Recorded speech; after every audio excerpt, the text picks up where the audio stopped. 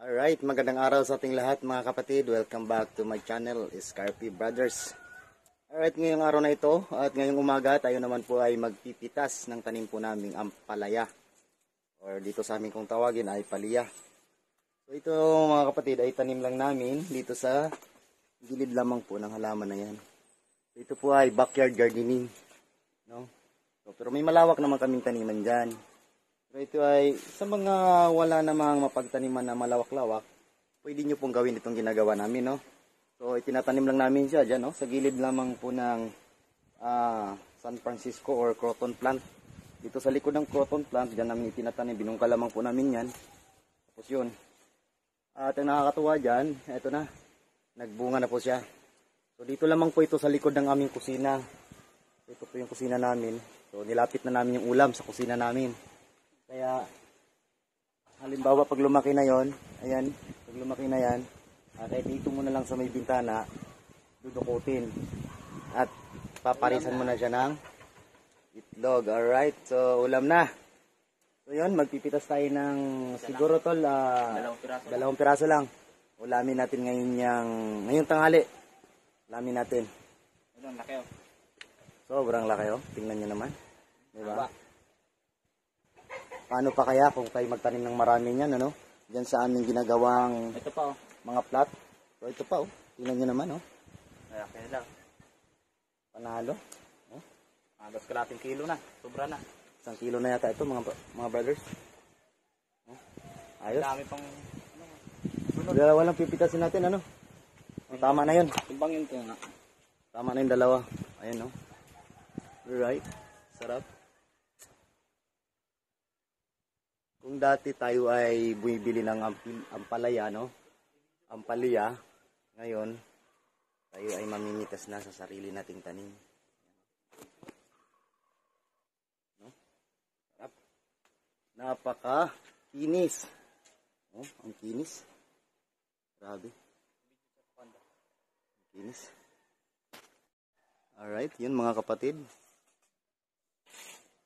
Sarap naman. So, unang harvest pa namin ito. Ay, hindi pala. Pang pangatlo na pala yan, ano? Pang-apat na harvest na, no? So, yun, pang-apat na harvest. Kami ay, may pitas lang kami ng ilan-ilan lang.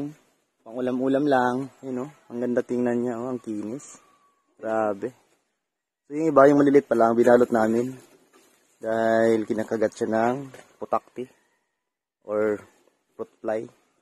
You know? Diba? So, yun nga pala mga brothers. So, dito lang po namin dito tinanim yan. Mayroon ba ito yung Ayan. Sa ilalim po ng pinagtaniman namin, andyan din yung alugbati.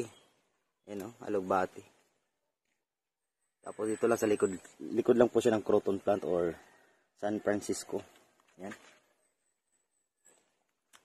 Hindi namin nakalain mga tatlong puno lang. hindi namin nakalain mga brothers na magbunga. Dahil tatlong puno lamang po yan. Yan po ay ano, ah, sa binili naming ampalaya sa palengke. Then, eh, yung buto, tinanim namin dyan. Dahil pwede na siya itanim dahil magulang na. Ayun, may nag may sumibol tatlo. Kaya ayan. So, yung tatlo namin na ano, ayan, ang dami na niya. So, ang isang bunga, paparami namin siya ng tatlong puno. Wow. So, dalawa pa lang, oh. Dalawa, pero, tingnan nyo naman mga tol. Almost Three-fourth. hap. Hmm, tingnan nyo naman. Dalawang So, piraso lang yan. Kung magpitas pa tayo ng isa siguro niyan, baka isang kilo na. Kulang pa. Mahal pa naman ang kilo ng ampalaya ngayon. Nasa 60 yung kilo sa palengke. Yun.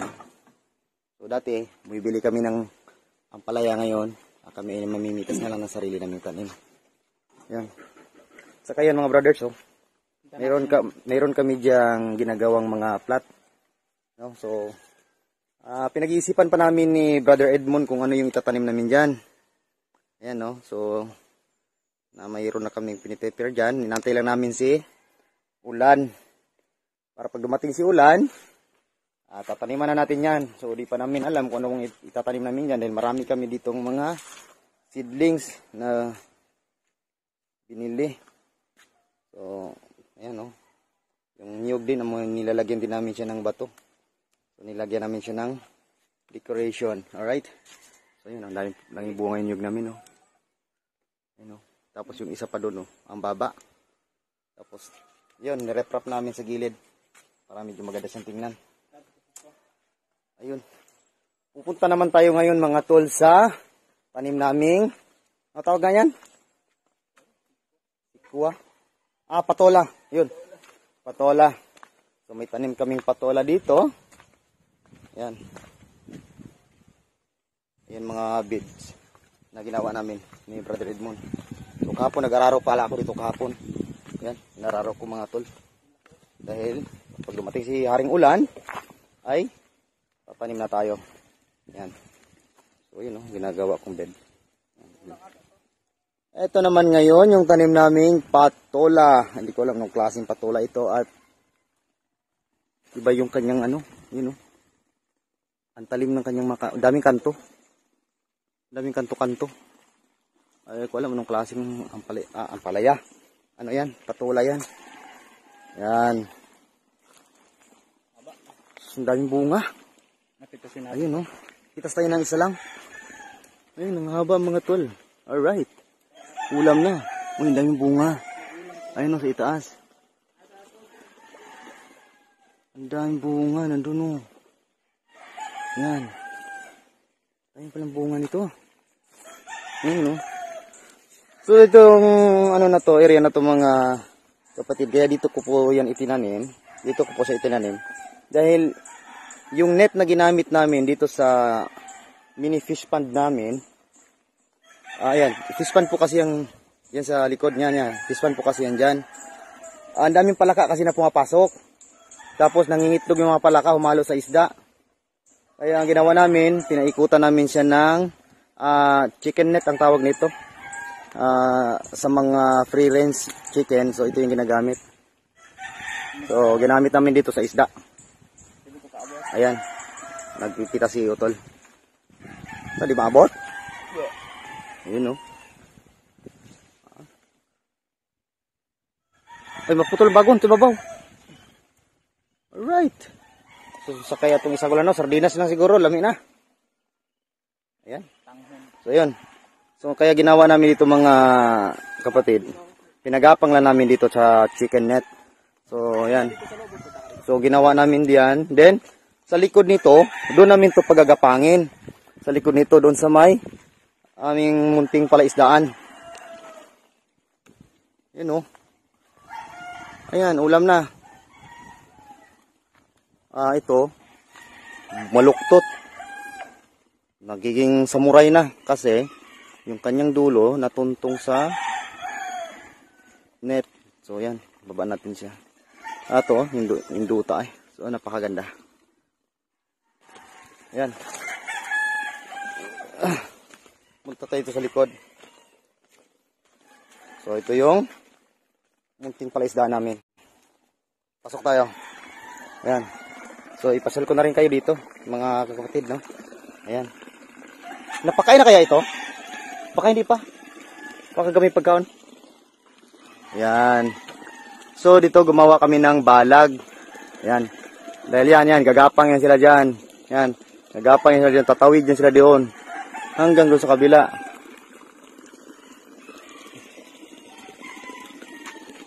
Kaya namin nilagyan ng balag dito.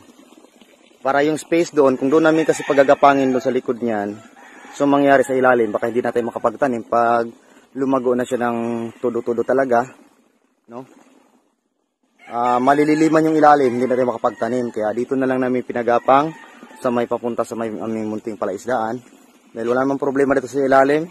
Ah, mga ornamentals lang naman tong mga nandito, kaya okay, wala namang problema yun kung malililiman yan.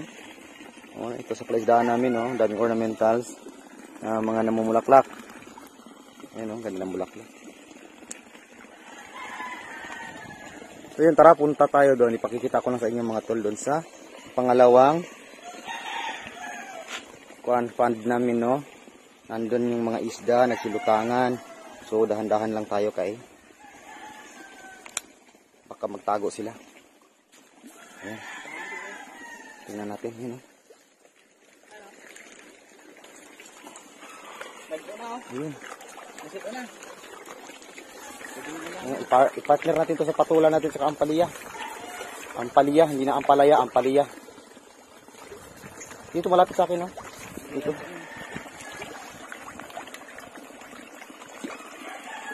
Ang dami nila. Dito, dito, dito mga tol. Dito. Uy, saan sila? Busog na. Sa dami nila, busog na. Wala. Ang dami nito kanina. Ah, man nagpagkaon, no? Ngayon, Ah, pinakain na pala. Oo. Kaya pala mga kapatid, hindi sumalubong sa amin yung alaga namin. Ay, ito, ito, ito. Dito, dito. Yan. Hmm.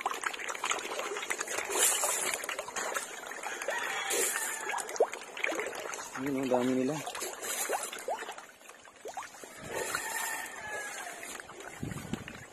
Diyan. Ito, maliliit lang, maliliit lang dito. Dami, oh.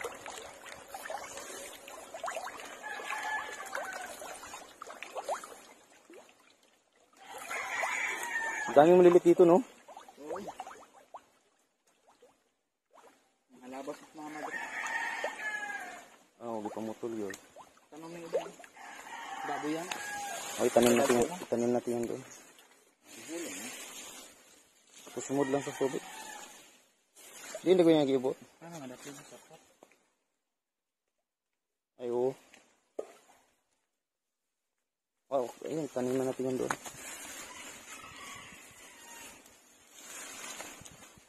Ayun, nagsilutangan yung mga isda doon, no?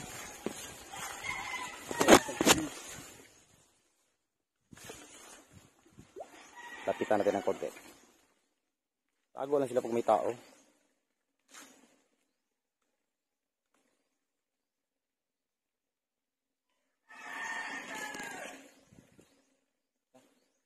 Yan, busog na.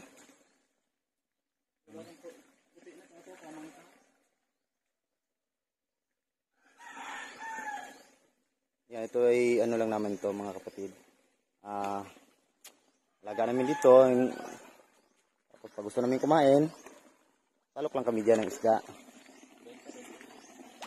Ah, pag may gustong bumili, binibenta din naman namin yan. Pero sa ngayon, hindi pa pwede ibenta dahil malilit pa lang. Siguro yung isang piraso nito ay mga, ang isang kilo nito, mga walong piraso pa. Walo hanggang pito siguro sa, ano yan. Kaya malilit pa. Ibenta namin dito yung dalawang piraso, tig isang kilo. Yan ang, yun ang binibenta na namin. Parang kasing laki na ng tsinelas. Ay, hindi pa pwede. Maraming gustong bumili kaso lang hindi pa pwede. Ayun, natanim pala namin ditong ano, ah, tawag nito, dragon fruit. Ayan, gumapang na. Hindi rin magtagal yan. By next year, magbubunga na po yan. Dahil yung dragon fruit, magbubunga yan hanggang walong buwan hanggang labindalawang buwan. So, isang taon. Yung okra natin dito, wala yatang bunga. Ah, Sili na buyot. O, labuyo kayo dyan. Libre lang. Ayun o. O, libre pang halo ng tinola. Yung dahon nito, masarap sa tinola. Ayun o, yung aming okra. Ng bunga. So, ginawa ko dyan sa okra namin. Pinutol ko yung talbos. Para magkuhan siya. Maglabas siya ng mga sanga. Kaya yun, dami yung sanga. Kaya sa susunod dito, dami na po yung bunga. Pagka ganito kasi mga brothers, pagkahayaan natin siyang tumaas ng tumaas, ah, ibig sabihin nun, hindi nagpapakain yun. Kaya pinutol natin. Kaya narami siyang sanga. Ayan. Tapos pag nagbunga na yung mga sanga na yan, ay ulam na. Daming bunga oh.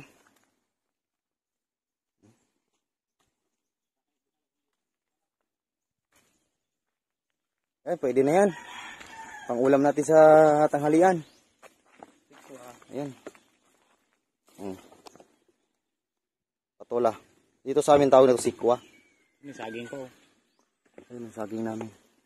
Lapit na yan. Bi Gilid din ang daan. Bi- Bibitin na natin yan sa... Wan. Kisame. Ayan. Tapos itong nagsunod, hindi na rin magtagal ito. Malalaki na yan. Ayan o. Sawang-sawa kami dito sa saging, mga kapatid. Grabe. Unlimited.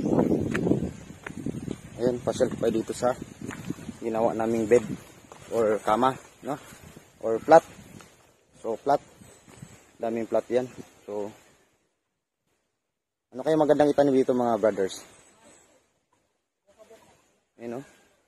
So, naka-prepare na kami ng pagtataniman.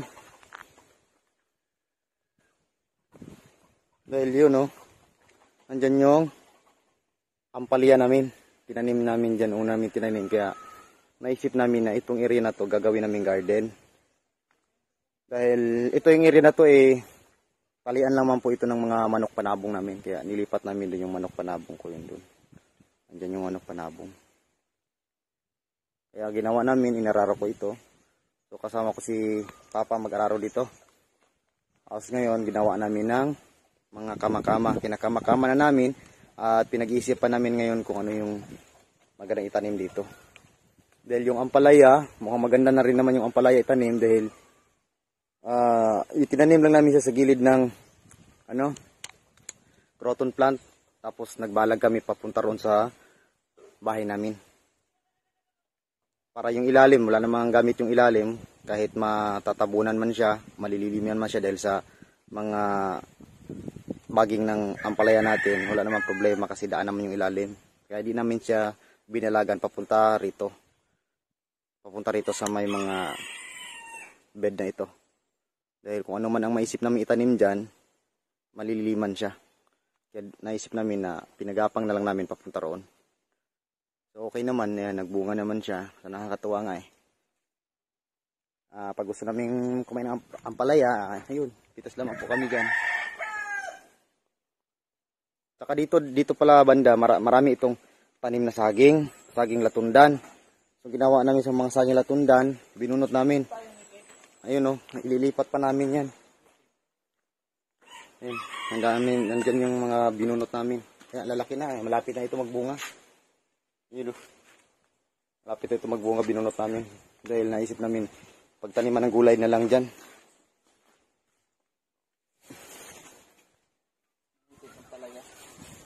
Alright, yun nga pala mga brothers. Ah, ibahagi ko na rin sa inyo yung tanim namin ditong, ay, Actually, hindi namin tanim ito. Ito ay tumubo lamang. Ngayon, yung ginawa namin, pinagapang lang namin siya sa avocado. Ito, oh. Pinagapang namin sa avocado. Ito ay ah, native ampalaya. Ayun, tubo nga. So, ganito lang siya kaliliit. Ganyan lang kaliit siya.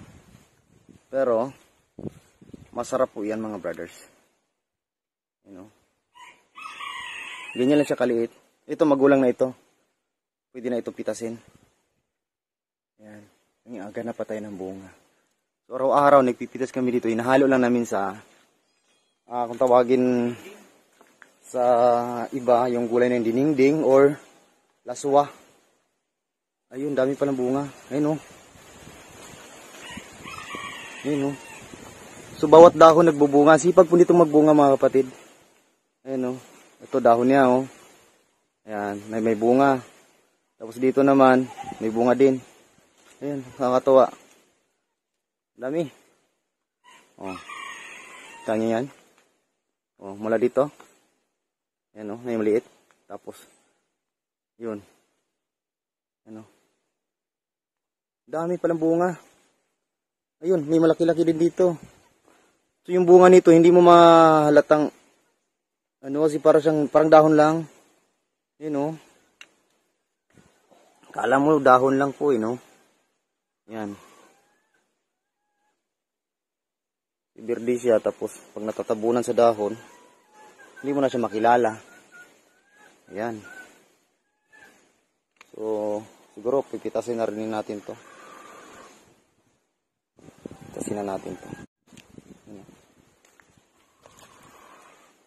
Siguro marami, marami bunga nito. Hindi lang nakikita.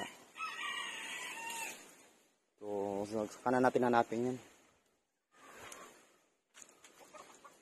Ayun oh, may bunga doon.